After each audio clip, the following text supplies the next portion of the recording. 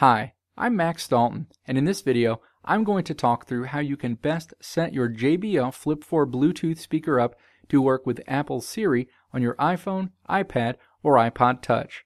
The JBL Flip 4 Bluetooth speaker can add some much needed pop to the built in speakers on an iPhone or iPad.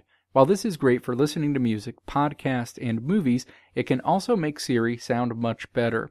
This video will explore two things you can do to get the best Siri experience possible on your JBL Flip 4 speaker that's connected to an Apple iPhone, iPad, or iPod Touch.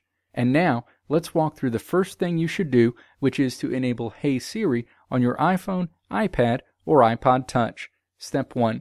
Tap the Settings app on your Apple device, and then tap Siri and Search on the next screen.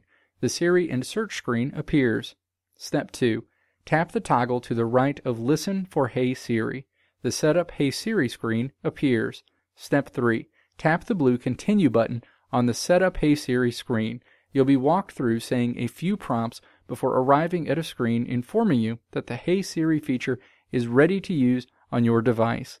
Tap the blue Done button on this screen. You'll arrive back at the Siri and Search screen where you'll see the toggle to the right of Listen for Hey Siri is now moved to the right in the on position. Now you'll be able to say Hey Siri when you're near your Apple device while it's connected to your JBL Bluetooth speaker, and you'll be able to hear and interact with Siri through your JBL Flip 4 Bluetooth speaker. And now, let's walk through how you can change pressing the play button on your JBL Flip 4 Bluetooth speaker to initiate an interaction with Siri on your Apple device. Step 1.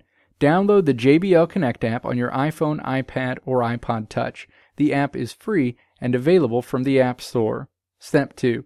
Verify that your Apple device and the JBL Flip 4 are currently paired. You can do this by navigating to the Bluetooth part of the Settings app, locating your JBL Flip 4 in the list of devices, and ensuring that it's connected. Step 3. Launch the JBL Connect app. Swipe through the list of any other JBL Bluetooth devices you have until you arrive at the JBL Flip 4 where you want to change the play button to initiate a conversation with Siri. Step 4. Tap the settings icon at the bottom of this screen. The settings icon looks like a gear. A screen appears that features two choices at the bottom Play Pause and Voice Assistant. By default, your device will be set to Play Pause. Tap Voice Assistant to place an orange circle with a white check mark in the upper right corner of Voice Assistant.